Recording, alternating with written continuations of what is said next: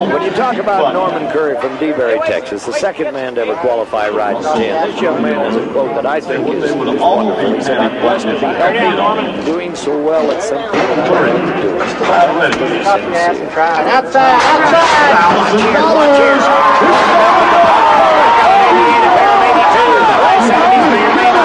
He's got that spot. He's got that spot locked in.